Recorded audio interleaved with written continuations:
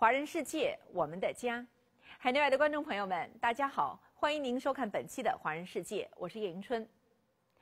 一九三一年九一八事变爆发，日本占领中国东北三省，中国人民奋起反抗。为了抗击日本帝国主义的侵略，许多海外华侨返回祖国参加战斗，陈瑞甸就是其中的一员。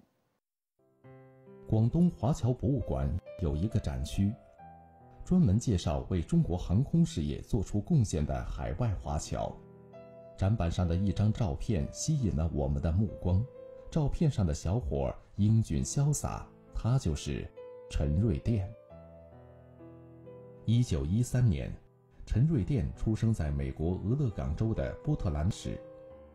他的父亲是中国人，母亲是秘鲁人。父亲经常给陈瑞甸讲述家乡和家乡的亲人，讲述发生在那片古老神奇土地上的事情。中国这两个字，在陈瑞甸心里深深地扎下了根。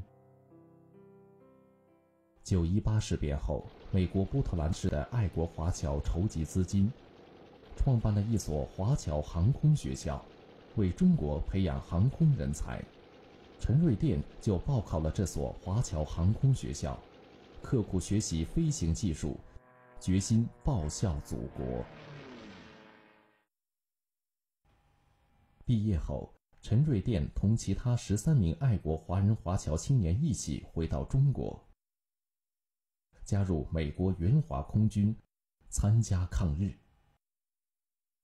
一九三七年八一三淞沪抗战的第二天，陈瑞电就驾驶美制霍克双翼战斗机，参加了震惊中外的八一四空战。两天后，他驾驶着相对落后的霍克双翼战斗机，击落日本三菱轰炸机，首开自己击落敌机的记录。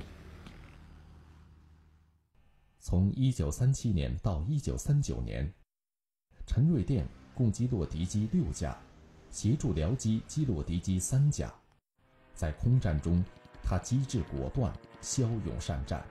他的飞机曾经三次被击落，他都跳伞生还，被人赞誉为美国援华空军中的中国战鹰。一九三九年十二月二十七日，在广西南宁附近上空，三架中方飞机与十多架日本战斗机遭遇。激战中，陈瑞电的座机被敌机击中起火，陈瑞电的全身也着了火。他果断跳伞，虽然跳伞成功，可是他面部和全